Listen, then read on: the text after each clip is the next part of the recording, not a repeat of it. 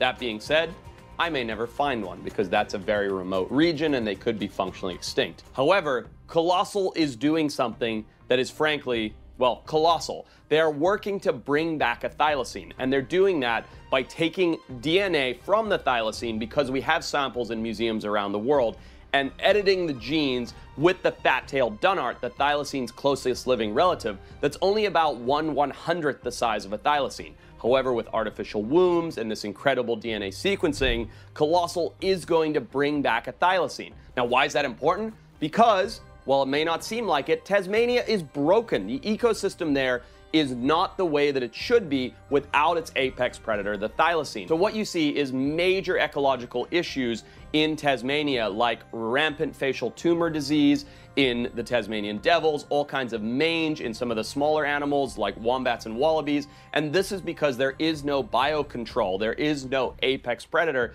to clean up that ecosystem. Now, this is, of course, a very simplified way of looking at it. If and when Colossal is successful, which they will be, they're going to be working with Aussie Ark to bring thylacine back to Tasmania where they belong, reintroducing them into the wild and repairing the ecosystem. And it's hard for me to even fathom that in my lifetime, one way or another, whether I find it or Colossal beats me to it, I am going to get to see a thylacine.